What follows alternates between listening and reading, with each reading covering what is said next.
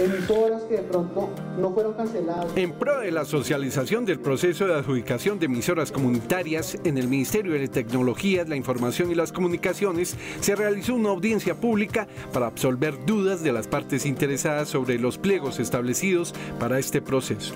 La ministra Silvia Costaín fue la encargada de dar apertura al evento.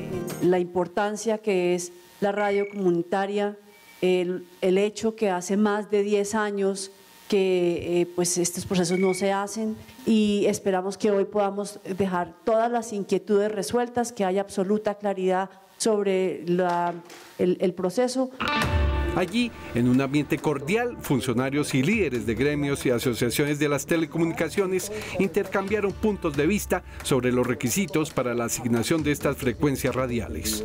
Una audiencia muy importante para despejar las dudas y poder saber eh, verdaderamente cómo enfocarnos en enviar una propuesta la cual sea viable para la concepción de la licencia. Es todavía bastante artesanal, una consola con mal funcionamiento, con dificultades porque como no es una entidad que maneje capitales ni nada, trabajamos casi que con las uñas. Hoy día puedo enseñarle a cualquiera radio, sonido, televisión, electrónica, que eso es importante. Estoy inclusive ya fabricando o estoy convirtiendo carros de gasolina a carros eléctricos.